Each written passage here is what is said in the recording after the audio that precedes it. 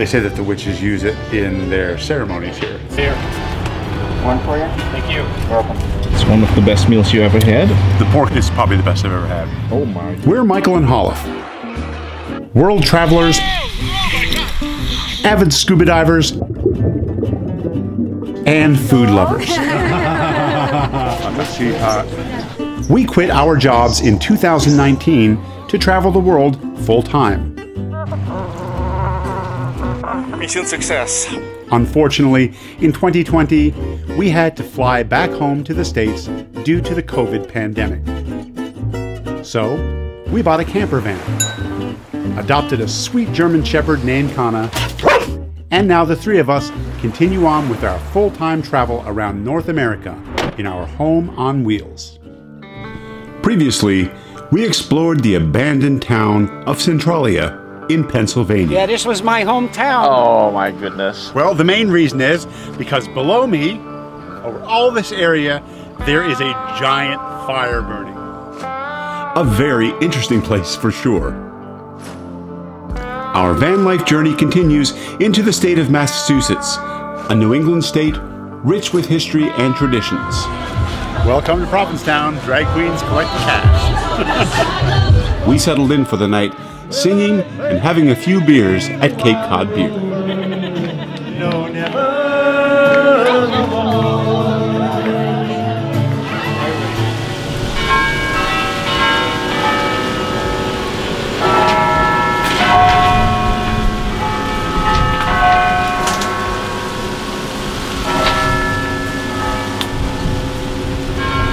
We are in Salem, Massachusetts. And the weather is just something you can't complain about. Yeah, we got a couple things lined up. Uh, we've been working with Destination Salem to come up with a little bit of an itinerary for us today, and we are going to do a couple of things. Yeah, some of the tours were uh, arranged for us. So you ready to explore Salem? I am. Kana's ready. I know she's over in the corner just raring to go. Yeah. So let's get out and explore. Let's go. We're starting off our day by joining the morning coffee walks, hosted by Salem Food Tours. and, and it was great. It was a real This is Karen. having people in town. So we just Karen is our host this morning, as well as the founder of Salem Food Tours, the original guided food and cultural walking tour of historic Salem. We're starting off here at Jodi Bee Bakes. This is actually a great destination for bakery in Salem. Um, so this is a very happy place, and in October you will see a That's line a of couple months ago. We're a fully vegan bakery, so everything you see here has no dairy, no eggs, um, no animal products of any kind. There are a lot of baked goods to choose from, and we're here to sample a few of them, as well as have a cup of custom New England blended coffee. We had a great introduction to Salem while enjoying our coffee and baked treats from Jodi Bee. Bakers. Thank you so much, ladies. It's so good. Now we're ready to explore Salem. For the next hour, Karen took us around Salem to several historical landmarks while sharing valuable information about the history of the city. Lots of wonderful restaurants to choose from here in Salem. Samantha. And then my dear, I want you to hold up the basket. My dear, you're gonna hurt beautiful. One, two, three. One, two, three. Enjoying Salem so far? Yes, it's a lot different than I expected. It's a lot more here than anything to do with witchcraft. Yeah. These are what's called the Ladies of Salem. The city gives out blanks of these and gives them to artists, and artists can paint them however they want, and they're everywhere in the city. Very neat. Next, we visited Pamplemousse, a gourmet and specialty drink store, to learn about a few things they have to offer. This is a small specialist store, and there's so many products that I've never heard before. This is a wonderful place to shop. It's so tempting to get a lot of stuff. Yeah, so one of the things that we uh, we do here at Pamplemousse uh, is this one. These are all meads. It's a wine that's made from honey rather than grapes. This is Viking Blood. It's a famous mead that they sell here.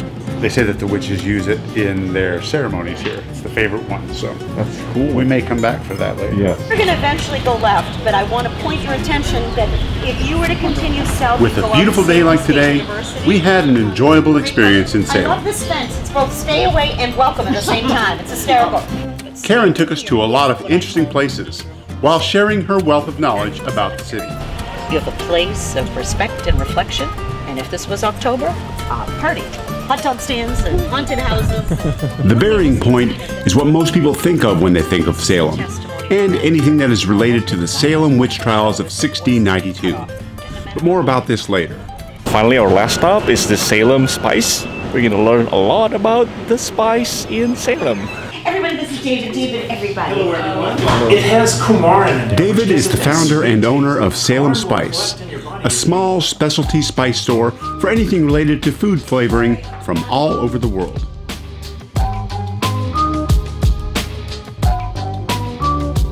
We tasted so many different salts, spices, and cooking blends that were frankly mind So blowing. I hope everybody brought. This is part of Salem that we weren't aware of. So either mm. love or dislike it. Who knew that Salem used to be the illustrious maritime spice trade center in the 16th century of old They're America? going to be very happy to do a. Who knew spice tasting is actually a good thing? This is absolutely good timing. Let's out of my mind. I never really know, tasted anything like this before. Why don't we do- And I'm from Indonesia. let's we're gonna That's continue crazy. in just a moment with the other three, but before we do. Um, and just my life, strawberry We also tasted some refreshing smoothies, It's strawberry and pineapple. You're a- I will be happy to partake as well as amazing jams and syrups. on oh a salad, on, on Lemon basil?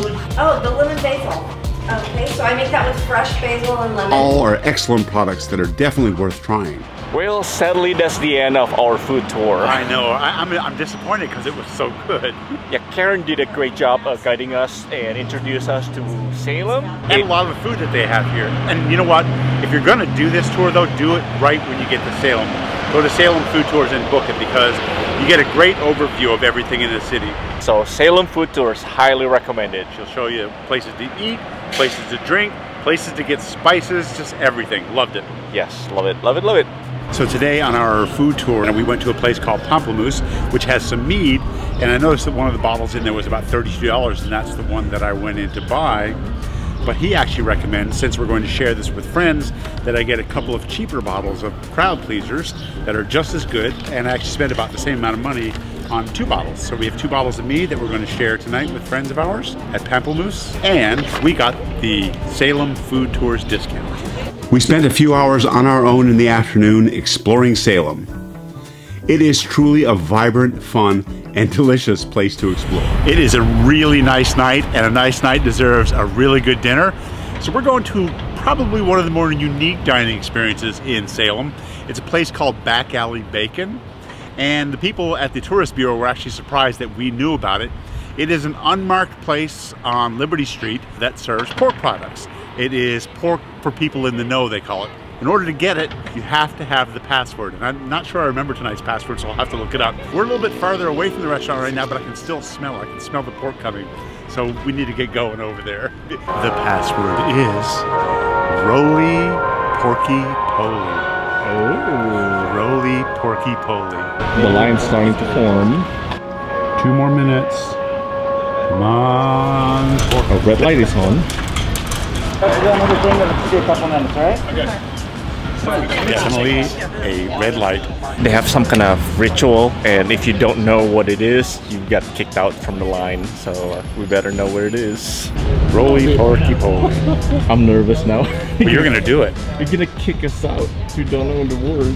You're gonna do it. You know the words. One by one, everyone gives the password for the food. Roly porky poly? Rolling porky bowling. Roly porky poly. Finally, it's our turn to order this highly sought after food. The Password is Roly porky poly. That is correct. Oh, all right, we'll see you in a minute. Alright. I think I'm blushing. I didn't stumble the password, so we actually got our dinner tonight. Sam? For two? For One? One, yeah. Yes, we got our bounty. Deliver the pork to me. Ooh, a salad. To offset the. Oh.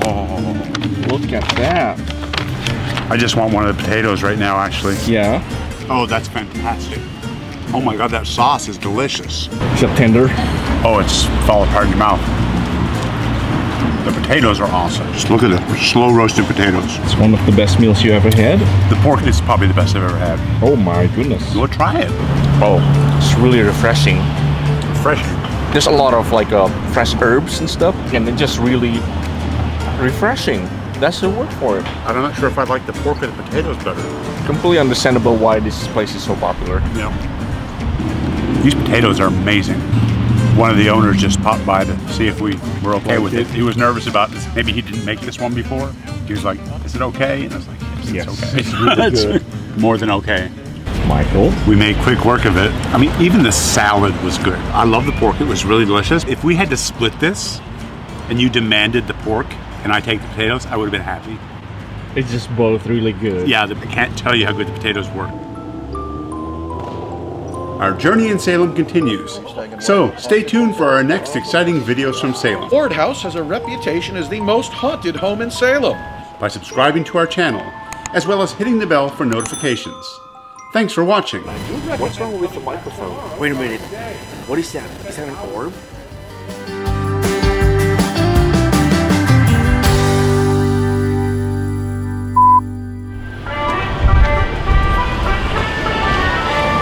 Waiting for the pig.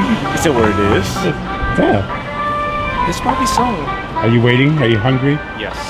Yeah. If you don't sit down and eat something, I'm gonna eat it all.